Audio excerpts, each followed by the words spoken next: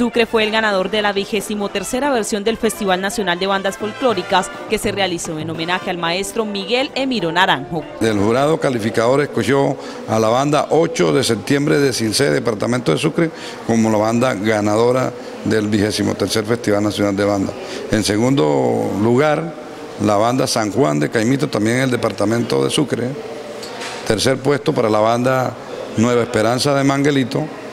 Y la mejor cumbia inédita se la llevaron los visitantes del interior, como fue la banda 4 de enero de Tocancipá.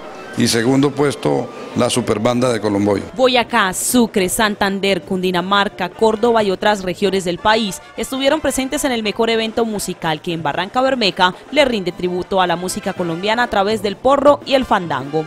Bueno, precisamente el Festival de Barranca Bermeja para distinguirse del Festival Nacional del Porro en San Pelayo, del Encuentro de Bandas de Cincelejo y otros festivales hemos adoptado aquí por la influencia del río Magdalena eh, un ritmo eh, propio de la ribera del río Magdalena como es la cumbia. Por eso nosotros premiamos la cumbia y además también eh, desde el año anterior venimos eh, fomentando para que las bandas también interpreten el ritmo vallenato. El mapa musical de Colombia se concentró en el puerto petrolero. Interpretaron sus ritmos en el marco del aniversario número 94 de la ciudad. A través de las diferentes culturas musicales transforma la vida tanto del artista que está ejecutando como de las personas que están oyendo o bailando.